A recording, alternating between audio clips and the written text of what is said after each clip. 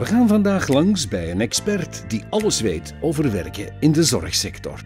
Ik zou een heel gesofisticeerd recruterings- of wervingsbeleid kunnen uh, uiteenzetten. Maar uh, ik kan dat kort samenvatten. Dat is dat wij heel veel belang hechten aan uh, wie er voor ons zit. wie die mensen zijn, wat ze echt willen. Vandaar ook de link naar ons bedrijf. we willen het echt in de verf zetten. dus wij stellen vooral vragen. Wat drijft mensen in de zorg? Waarom kiezen ze voor de zorg? En hoe kunnen wij als bedrijf ervoor zorgen dat ze zichzelf kunnen zijn, dat ze kunnen ontwikkelen, kunnen doorstromen. En uh, dat is het belangrijke. Daar komen mensen op af. En om dat in uh, ja, een paar woorden samen te vatten, erkenning, waardering uh, en, en, antwoorden op, op hun vragen en behoeftes. Dat is de belangrijkste. Ja, vandaag focussen we op het inzetten van verpleegkundigen.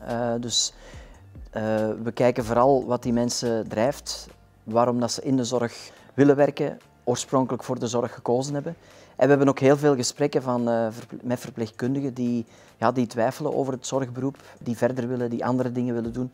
En dat willen we ook koesteren. Eens dat mensen uh, bij ons aan boord zijn, of verpleegkundigen bij ons aan boord, kijken we vooral hoe ze uh, ja, zich etaleren of hoe dat ze hun, hun werk doen in, in de lopende projecten. En we kijken vooral mee wat ze nog meer wensen in hun functie, in hun carrière, maar ook als mens.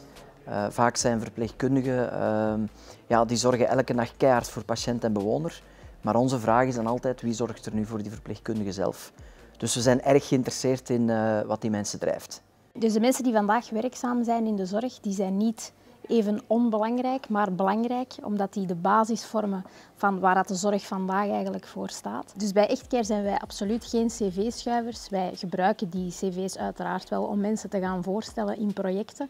Nu, wat dat voor ons het allerbelangrijkste is, dat we gaan kijken wat zit er in de buik van onze mensen, wat zit er in het hoofdje van onze mensen. Belangrijk is dat we gaan kijken van wat heb jij nodig morgen als persoon om het gevoel te hebben dat je jezelf professioneel en privé verder kan ontwikkelen. Die microlearning, genaamd Echtflix, is een, uh, een, samenwerking dat we hebben opgezet met de Artevelde Hogeschool. En dat zorgt er eigenlijk voor dat je via het mobiele platform opleidingen kan gaan volgen wanneer dat je dat wil welke opleiding dat je dan ook wil, diegenen die dan zijn opgenomen in dat platform uh, en op welk toestel dat je dat wil doen. Um, dat is anders dan de klassieke ex-cathedra, klassikale opleidingen, um, die ervoor zorgen dat je op die datum en op dat tijdstip in dat klaslokaal moet gaan zitten, wat dat vaak ja, vrijheidsbeperkend werkt. Dus we willen gewoon nu ervoor zorgen dat de mensen, als zij willen bijleren, dat ze dat ook kunnen wanneer dat ze dat willen.